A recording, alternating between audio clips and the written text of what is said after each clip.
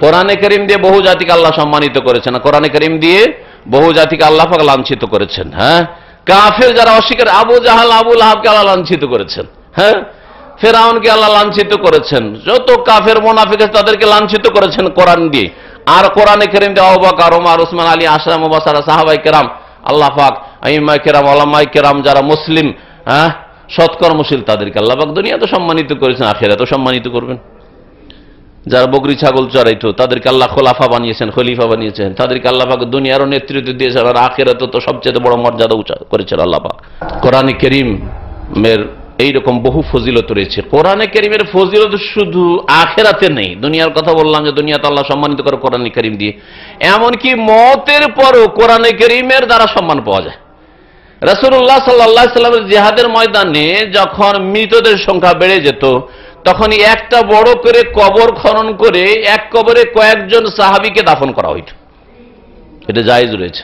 যখন মৃতদের সংখ্যা বেড়ে যাবে, তখন প্রত্যেকের জন্য আলাদা আলাদা কবর খনন করা কষ্টকর বিষয়। একটি কবরে পাঁচজন, ছয়জন, সাতজন, আটজন, দশজন গণকবর একসাথে কবর দিতে পারেন, জায়েজ রয়েছে। নবী করিম সাল্লাহ আলী সাল্লাম করেছেন অহদের সময় করেছেন। করেছেন। এই ক্ষেত্রে কবরে নামাবেন কাকে? অথবা একসাথে জানাজা হইল কয়েকটা জানাজা, কবরস্থানে নিয়ে গেলেন, সবগুলিকে তো একসাথে দাফন করা যাচ্ছে না, এক একে দাফন করবেন।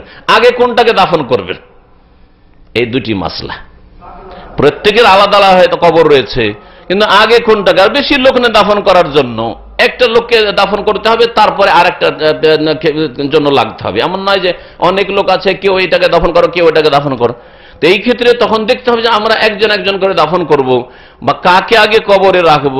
এই ক্ষেত্রেও কোরআন এবং হাদিস বলে, শরীয়ত বলে।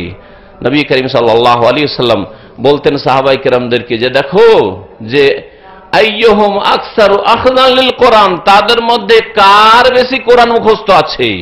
কে বেশি কোরআনের জ্ঞানী, কোরআনের জ্ঞান কার কাছে বেশি রয়েছে? ফাইকাদ্দাম ফিল্লাহাদে, তাকে লাহাদে, কবরে আগে রাখা হইত।